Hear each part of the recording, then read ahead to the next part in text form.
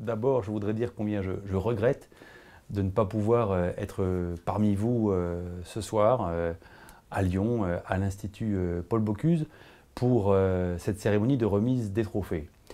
J'aurais voulu beaucoup partager avec vous ce moment, c'est malheureusement impossible. Ce que je veux dire néanmoins, c'est que moi j'ai eu à cœur depuis trois années maintenant de travailler avec un repas. Et j'ai pu euh, constater combien Mille et un repas étaient finalement pionniers dans la lutte contre le gaspillage alimentaire en matière de restauration euh, collective.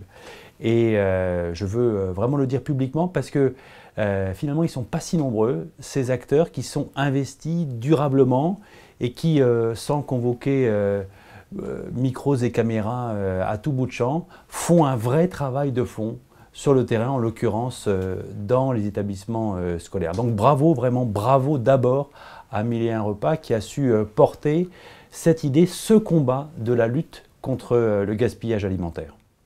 La lutte contre le gaspillage alimentaire comme sujet politique, c'était pas évident au départ parce que ce n'était pas traité par les politiques publiques. Et d'ailleurs, c'est très récent depuis que nous avons euh, amendé la loi transition énergétique que nous avons construit une vraie politique publique contre le gaspillage alimentaire. Mais il y a trois ans, lorsqu'il a fallu euh, échafauder ensemble les principes, les orientations, les actions contre le gaspillage alimentaire, on n'était pas si nombreux en effet. Il y avait déjà mille et un repas. Alors pourquoi moi je me suis euh, investi, lancé dans ce combat contre le gaspillage alimentaire? Ben, Tout simplement c'est une forme d'indignation, contre euh, les volumes et les volumes qui sont euh, chaque année jetés par euh, notre société et par chacun de nous finalement. Parce qu'il faut revenir aux chiffres, il faut revenir à la réalité des choses. Le gaspillage alimentaire, c'est 20 à 30 kilos de nourriture que chacun de nous, comme consommateur, comme citoyen, j'allais dire, jetons à la poubelle. Est-ce que c'est admissible? Non. Est-ce que c'est scandaleux Oui, c'est scandaleux pourquoi? D'abord parce que c'est des euros qu'on met à la poubelle, c'est du pouvoir d'achat qui s'envole, mais c'est aussi scandaleux d'un point de vue euh, éthique. Euh, le défi qui est devant nous, il est alimentaire au plan mondial. Nourrir 9 milliards d'êtres humains à l'horizon 2050. Nous sommes 7 milliards aujourd'hui. Et donc, si nous voulons nourrir 2 milliards d'êtres humains en plus, avec la même planète, il faut commencer par ne pas jeter la nourriture qui est produite. Or, aujourd'hui, c'est 30%, un tiers de la nourriture qui est produite qui est jetée. C'est vrai chez nous, ce sont les dérives de la société de surconsommation dans les pays développés. C'est vrai aussi évidemment au sud, lorsque la production agricole n'est pas bien stockée, euh, conservée, lorsqu'elle n'est pas euh, transformée sur place. C'est tout ça le gaspillage alimentaire et chacun face à ce défi alimentaire a une responsabilité si on parvient chacun à moins jeter, à moins gaspiller. Et ça, ça concerne tout le monde. Ça concerne euh, les citoyens comme consommateurs, nous le sommes, mais euh, ça concerne aussi euh, l'industrie, ça concerne les producteurs, ça concerne aussi, au premier chef, les grandes surfaces. le Premier ministre m'avait, il y a six mois, confié une mission euh, fournir des propositions, formuler des recommandations pour une vraie politique en France contre le gaspillage alimentaire. Jusqu'à présent, on était euh, plutôt dans les bonnes volontés.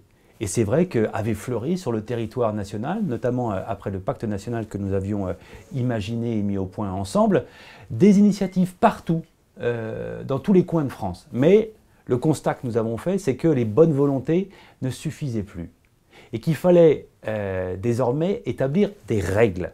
C'est ça une politique, établir des règles, se donner les moyens d'être efficace contre le gaspillage alimentaire. Et ce rapport que j'ai euh, remis euh, au Premier ministre, à travers Ségolène Royal et Stéphane Le Foll, eh bien, c'était un ensemble de propositions cohérentes, du moins je l'espère, pour agir sur toutes les causes du gaspillage, et ça concerne évidemment aussi, bien sûr, le gaspillage dans la restauration collective. La loi a été euh, votée à l'Assemblée nationale en deuxième lecture. Elle doit maintenant être discutée au Sénat. Vous savez, moi j'avais euh, pris le soin de bâtir et de déposer des amendements dans une approche euh, consensuelle, considérant que droite et gauche pouvaient se mettre d'accord sur ce que je proposais contre le gaspillage alimentaire. Nous avons réussi à bâtir ce consensus. Et donc maintenant, j'espère qu'il y aura le même, la même force de consensus au Sénat. Ensuite, il faudra évidemment que ce soit validé par le Conseil constitutionnel une fois que la loi pourra être promulguée.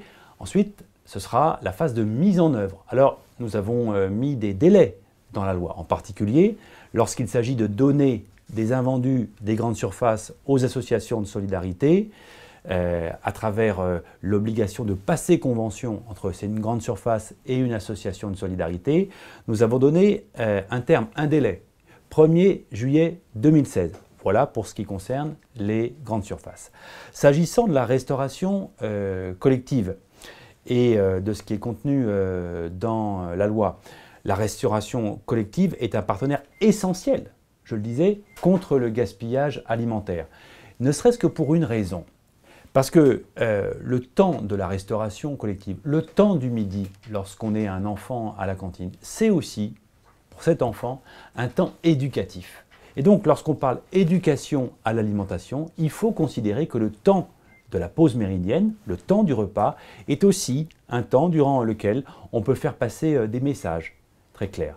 En particulier le respect de l'alimentation, le respect du travail qui a produit cette alimentation, le respect de celui qui a produit cette alimentation. C'est aussi euh, dans la loi et je suis convaincu que là encore, la restauration collective peut être un partenaire décisif pour euh, être un partenaire, un acteur de ce moment éducatif. Rien ne serait possible, rien ne sera possible sans l'implication très forte de tous les professionnels, que ce soit euh, les agents qui sont en salle, tous ceux qui sont euh, en cuisine, les chefs, bref, tous ceux qui participent de la fabrication de l'alimentation, qui la servent ensuite, tous ceux qui aujourd'hui ont un rôle direct ou indirect avec l'alimentation, c'est à eux que doivent euh, revenir aujourd'hui ces hommages que nous rendons parce qu'ils euh, sont euh, aux avant-postes de la lutte contre le gaspillage alimentaire et c'est avec eux que nous continuerons à mener ce combat, mais surtout à obtenir de vrais et durables résultats. Et on le voit d'ailleurs avec euh, Mille et un repas, et je veux vraiment redire combien Mille et un repas a été un partenaire très important pour faire avancer efficacement la lutte contre le gaspillage. Parce que moi, j'ai bien regardé ce que faisait euh, Mille et un repas et euh, on voit que assez, euh, assez simplement, avec beaucoup de volonté, ténacité, on arrive à des résultats tangibles. Hein. Lorsque on réduit le volume des déchets après un repas et faire en sorte qu'il ne reste que quelques grammes de déchets dans l'assiette, ça, c'est une vraie victoire contre le gaspillage alimentaire.